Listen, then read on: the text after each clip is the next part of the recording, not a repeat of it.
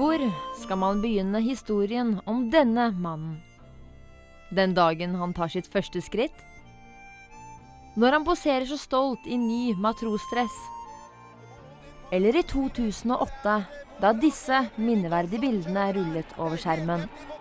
Så strekker Vinning godt på seg, og det blir seier til Jan Martin Bjerring og Thorborg gjennom Vinning-Kos. Ja, det blir det. Og Vinningkos får sin største seier i karrieren, og det gjør også denne mannen, Jan Martin Bjerring, som er helt i ekstase. Ja, dette er ekte seiersglede fra vår utegående reporter som skal få seg en rammeløsa, komme seg tilbake og komme seg på, på jobb igjen. Men alt har en ende. Og for snaue to år siden så måtte Jan Martin Behring legge fra seg mikrofonen for å slippe yngre krefter til. Og ikke overraskende så tenkte han mye på dette den første tiden. Jeg savna TV-sendingen, og særlig lørdagene, sammen med gode kollegaer. Å reise rundt og treffe de aktive rundt omkring på travbanen, det savnet det var der en stund etterpå. Nå er han travtrener på heltid og en av de aktive. Sammen med teknojerken fosser han nå frem mot årets store mål, Derby. Du skal være først. Ja, du skal det, men vi er fornøyd med det om du ikke er først òg, da. Bare du gjør det bra, så er vi fornøyd, vet du. Og gjør du det ikke bra, så er vi egentlig glad i deg for det.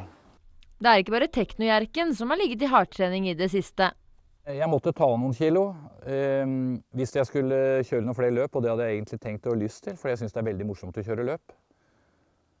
Det var egentlig ikke så vanskelig som jeg hadde trodd. Jeg kutta ut pølse på bensinstasjon, boller på bensinstasjon, og så slutta jeg å gå i kjøleskapet om kvelden og døtte i meg en masse ting før jeg, eh, før jeg la meg. Utover det så har jeg spist akkurat det jeg pleier å gjøre, og da raste, da raste det av en 25-30 kilo. Men blir det tid til å lage middag til kona? Er veldig dårlig, og der har jeg dårlig samvittighet. altså. For kona mi hun eh, har vært veldig tålmodig. Vi har vært gift i 31 år. Hun er ikke veldig interessert i trav. Og særlig nå etter jeg begynte som trener, så sier hun at du har forandra deg litt, Martin. sier jeg, Etter at du tok den der travtrenerskolen. For nå, før så så jeg det ikke veldig mye, men nå ser jeg det nesten ikke. Så det kan vel hende at jeg snart har en uh, bærepose utafor døra. Det må jeg passe meg for. Jeg tror ikke det, altså. Altså, guttebass. Bassebussebiss. Kjærlighet er definitivt et stikkord på stallen på Aslaksby gård. Jan Martin han sparer ikke på følelsene. Nei, Jeg er jo veldig følelseslada.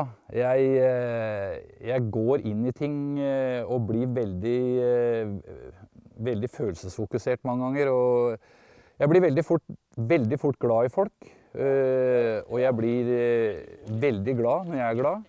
De gangene det går veldig bra, så er du liksom i fokus. Og det er jo gøy, for det er jo liksom Å få anerkjennelse er gøy. Det kan vi ikke stikke under stol. Det tror jeg ingen er uenig i.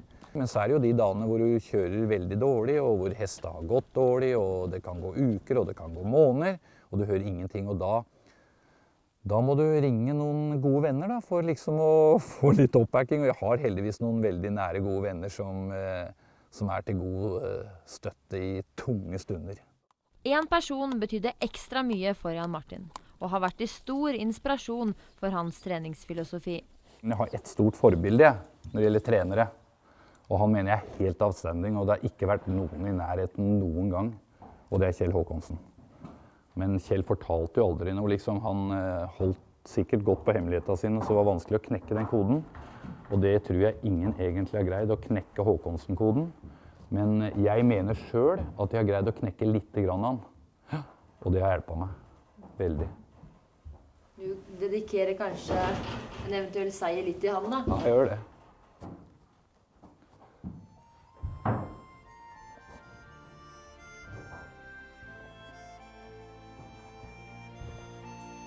Så jeg gjør det.